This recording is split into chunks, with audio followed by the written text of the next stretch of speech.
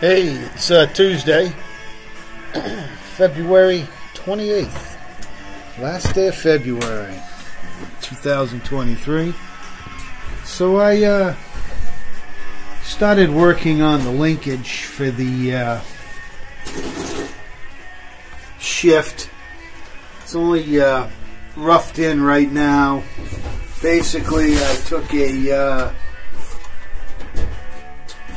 some parts that I had outside. Was uh, a shaft from a lawnmower that just held the, the uh, blade assembly forward on the lawnmower. then this was part of a mirror bracket, some old pieces I had laying in the bins. And uh, put this together.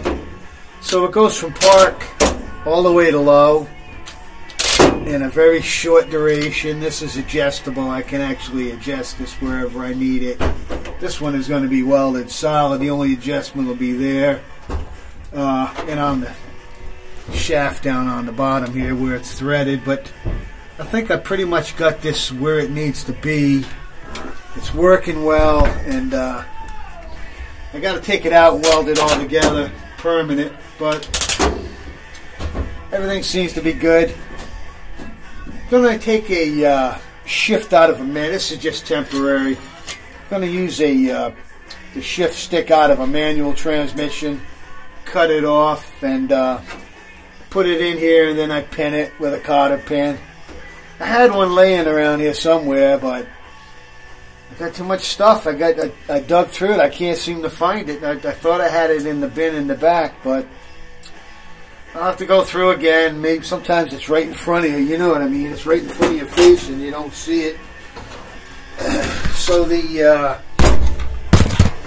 fuel tank is moving along. I put the uh, hair dryer in there for about uh, two hours to dry it out, and that's helping to. Uh, I just scraped it off.